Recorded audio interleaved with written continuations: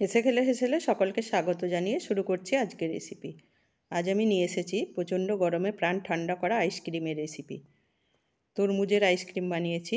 খুব সহজ পদ্ধতিতে আইসক্রিমটা তৈরি করেছি। চলুন তবে দেখে নিই রেসিপিটা কীভাবে বানাই। একটা বোল নিয়ে নিলাম, তাতে একটা স্টেনার বসিয়ে একটা করে তরমুজ নিয়ে এইভাবে ঘষে নেব। এতে জুসটা খুব সহজেই নিচে পড়ে যাবে আর ওপরে বীজগুলো আটকে থেকে যাবে। এখানে দেড় কিলো তরমুজের খোসাটা বাদ দিয়ে বাকিটা পুরোটাই আছে। এইভাবে সব তরমুজগুলোকেই ঘষে ঘষে জুসটা বের করে নেব। এগুলো বাদ দিয়ে দিচ্ছি। আমরা বিভিন্নজন বিভিন্নভাবে তরমুজের আইসক্রিম বানাই। তো এইভাবে একবার বানিয়ে দেখুন, কোনো ঝামেলা নেই, একেবারে সহজ পদ্ধতিতে এবং টেস্টও হবে অসাধারণ। আমি বিভিন্নভাবেই বানিয়ে দেখেছি, তবে আমার এই আইসক্রিমের টেস্টটাই বেশি ভালো লাগে। পুরো তরমুজটাই এভাবে ঘষে জুসটা বের করে নিয়েছি। দেখুন কতটা জুস বেরিয়েছে। এবার জুসটার মধ্যে দিয়ে দিচ্ছি আমি এক চামচ চিনি। আমার তরমুজটা যথেষ্ট মিষ্টি আছে, বেশি চিনি দেওয়ার প্রয়োজন নেই। আপনি যদি কম মিষ্টি চান, তাহলে চিনি দেওয়ার প্রয়োজন নেই। আবার যদি বেশি মিষ্টি পছন্দ করেন, তাহলে চিনির পরিমাণটা বাড়িয়ে দেবেন। চিনিটা পুরোপুরি গুলে গেলে আমি একটা গ্লাসের মধ্যে নিয়ে নিচ্ছি, এতে করে মোল্ডে ঢালতে সুবিধা হবে। এখন আমি ঢাকনাগুলো সরিয়ে দিয়ে মোল্ডগুলো জুস দিয়ে ভর্তি করে নেব। আপনার কাছে যদি মোল্ড না থাকে, তো আপনি এই গ্লাসের মধ্যেই আইসক্রিমটা জমিয়ে নিতে পারেন। আবার প্লাস্টিকের কাপ বা পেপার কাপ এর মধ্যেও ভরে নিতে পারেন। পেপার কাপে কীভাবে বানাই সেটাও আমি দেখিয়ে দিচ্ছি। আমার এই মোল্ডগুলো সব কটা ভরা হয়ে গেছে।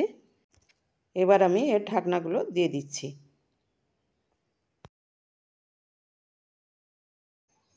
এবার আমি বাকি জুসটাও গ্লাসে ঢেলে নিয়েছি। এবার এটাকে পেপার কাপে দেব। দেখুন এর মধ্যে দিয়ে দিচ্ছি। আমার যেটুকু বেড়েছিল দুটো কাপে হবে। একটা ভর্তি হয়ে গেছে আর একটাতেও দিয়ে দিচ্ছি। এবার আমি এই কাপগুলো অ্যালুমিনিয়াম ফয়েল পেপার দিয়ে মুখটা ঢাকনা দিয়ে দেব। এইভাবে ঢাকনা দিয়ে দিলে মাঝখানটা ফুটো করে কাঠিটা দিয়ে দেবো, তাহলে স্টিকটাও সোজা থাকবে। আর উপরে যে বরফের গুঁড়োটা পড়ে, সেটাও পড়বে না।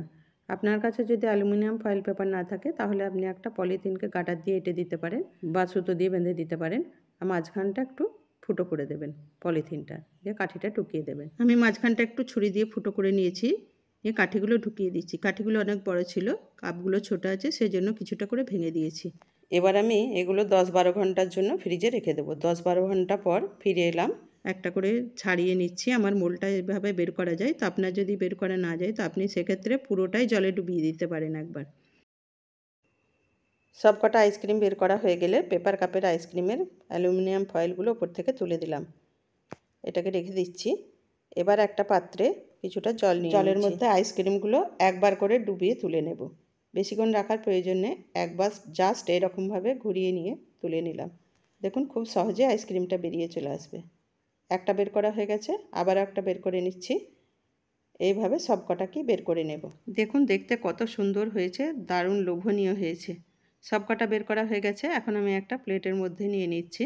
আপনারা তো বিভিন্নজন বিভিন্নভাবে আইসক্রিম বানিয়ে থাকেন, তো এইভাবে একবার বানিয়ে দেখবেন, খেতে খুবই ভালো লাগবে।